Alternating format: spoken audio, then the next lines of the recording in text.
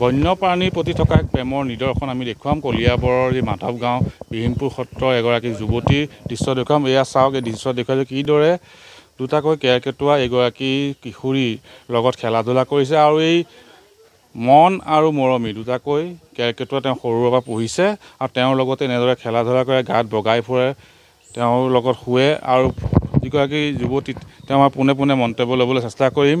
এই কেতিয়াৰ পৰা তুমি এইকেইটা পঢ়িছা বা কেনেকৈ আহিল তোমাৰ ঘৰলৈ? এইকেইটা এতিয়া অহা আহ, ডেৰ মাহ হ'ল আৰু আমি বজাৰ যাওঁতে পাইছিলোঁ এইকেইটাক। এই কণতেই পৰি আছিলে। তাৰপিছতে আমাক দেখি আমাৰ ওচৰলৈ আহিলে আৰু আমাৰ লগে লগে ভিতৰলৈও আহিলে আৰু তেতিয়াৰ পৰা আমি কেৰ্কেটুৱাকেইটাক পুহি কিমান আছোঁ। এতিয়া ডেৰ মাহ হ'ল। ইহঁতি আম খায় কল খায় গাখীৰো খায় আৰু আমাৰ লগতে বিচনাতে থাকে। আৰু কি কি কৰে? আৰু মই পঢ়া সময়ত মোৰ পৰা বস্তু লৈ যায় মোক পেনটো পেলাই দিয়েগৈ গৈ।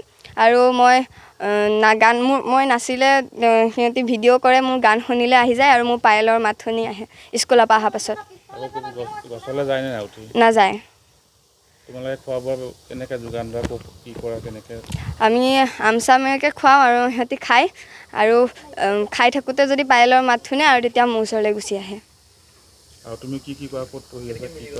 মই এবাৰ ছেভেনত পঢ়ি আছোঁ শংকৰদেৱ শিশু নিকেতন কলিয়াবৰৰ আৰু মোৰ নাম শ্ৰী হৰিপ্ৰিয়া মহন্ত আৰু মই মাধৱগাঁও বিহিমপুৰ কলিয়াবৰত থাকোঁ। হয় সেয়া মই ডেৰ বছৰৰ পৰা নাচিছোঁ কিন্তু আঠ বছৰৰ পৰা মানে এইবিলাক ভালকৈ শিকিছোঁ আৰু।